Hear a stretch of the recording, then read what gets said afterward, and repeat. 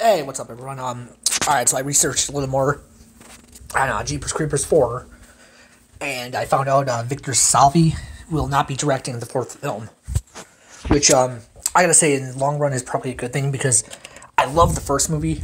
I actually enjoyed the second one, and it was about a year, maybe a year and a half after um, before the third one was coming out when I was starting to hear all the news about him and what he did. It's like you know he did do his time. Truth be told, but the question is, should we really should we support movies with you know people that do what he did?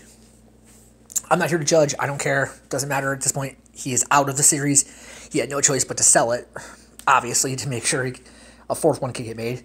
The question basically comes down to is this a reboot now? Because it says reborn.